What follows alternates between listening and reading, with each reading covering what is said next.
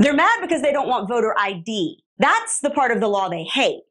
They don't want basic protections for our election system to ensure that votes are protected and that they're only cast by people who are who they say they are and who have a legal right to vote. That's what they don't want.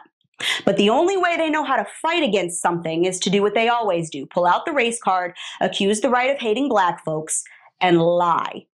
Meanwhile, Congress is trying to shove through the For the People Act to protect voters that would ban voter ID laws, legalize ballot harvesting, force taxpayers to fund political campaigns, even for candidates they don't support, and restrict states from purging their voter rolls of dead people and people who've moved out of state, because that makes sense.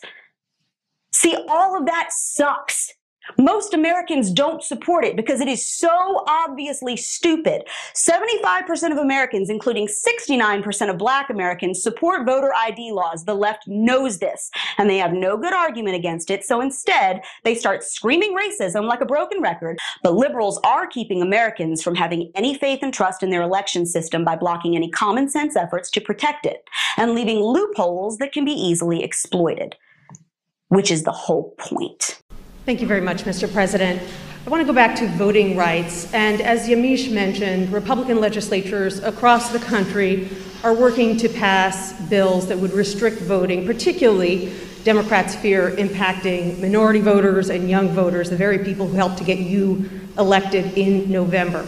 Are you worried that if you don't manage to pass voting rights legislation, that your party is going to lose seats and possibly lose control of the House and the Senate in 2022? What I'm worried about is how un American this whole initiative is. It's sick. It's sick.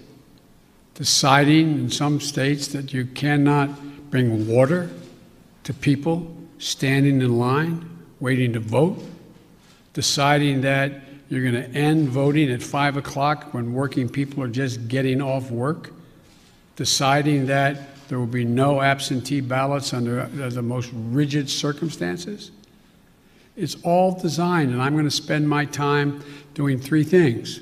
One, trying to figure out how to pass the legislation passed by the House, number one. Number two, educating the American public. The Republican voters I know find this despicable. Republican voters, the folks out in the, outside this White House. I'm not talking about the, the elected officials. I'm talking about voters, voters. And so I'm convinced that we'll be able to stop this because it is the most pernicious thing. This makes Jim Crow look like Jim Eagle. an idea, not an organization. You got it,